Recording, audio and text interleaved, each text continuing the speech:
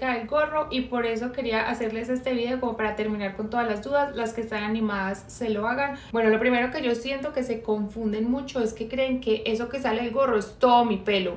Y no eso es simplemente pelitos que van sacando del gorro que son los que decoloramos el resto del pelo la, la mayoría del pelo está aquí abajo.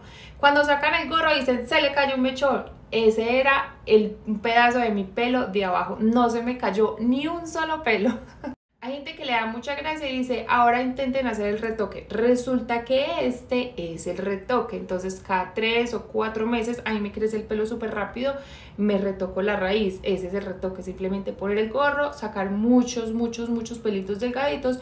Por eso es que el acabado es más natural, porque no son mechones grandes y son todos casi que del mismo tamaño y están todos cerquita, entonces por eso no se ven como mechones así grandes o de distintos tamaños, se ve mucho más natural. Cuando están sacando cada mechoncito, sí puede que duela, depende de la mano de la persona, de tu sensibilidad, pero la saca del gorro no duele, antes es como un masajito. Ella lo decolora hasta acá y después como que lo extiende un poquitico para que se empareje y después me pone como una mascarilla matizante.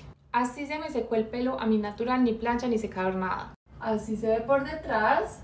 Mi pelo es súper liso y delgadito y después de años de hacerlo sigue sano.